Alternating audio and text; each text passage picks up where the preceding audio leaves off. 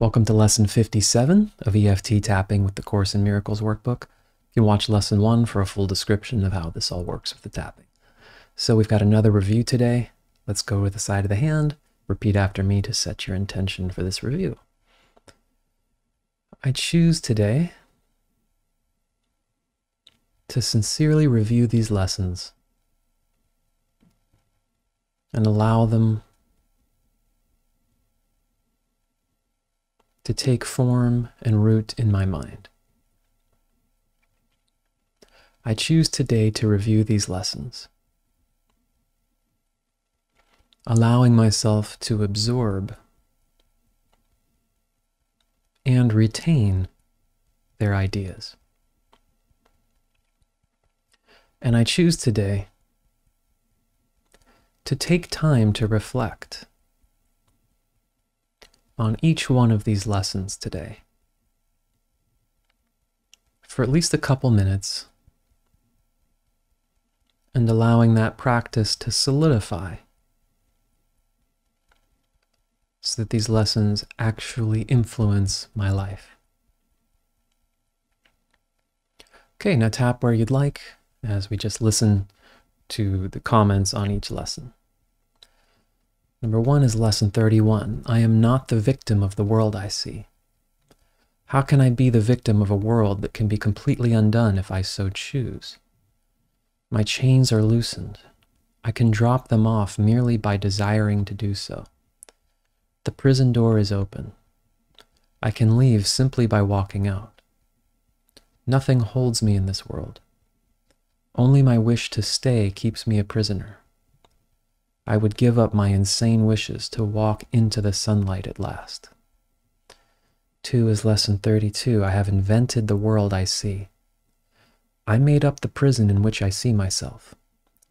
All I need to do is recognize this and I am free. I have deluded myself into believing it is possible to imprison the Son of God. I was bitterly mistaken in this belief, which I no longer want. The Son of God must be forever free. He is as God created him, and not what I would make of him. He is where God would have him be, and not where I thought to hold him prisoner. Number three is lesson 33. There's another way of looking at the world. Since the purpose of the world is not the one I ascribed to it, there must be another way of looking at it. I see everything upside down and my thoughts are the opposite of truth. I see the world as a prison for God's Son. It must be then that the world is really a place where he can be set free. I would look upon the world as it is, and see it as a place where the Son of God finds his freedom. 4 is lesson 34. I could see peace instead of this. When I see the world as a place of freedom, I realize that it reflects the laws of God instead of the rules I made up for it to obey. I will understand that peace, not war, abides in it. And I will perceive that peace also abides in the hearts of all who share this place with me.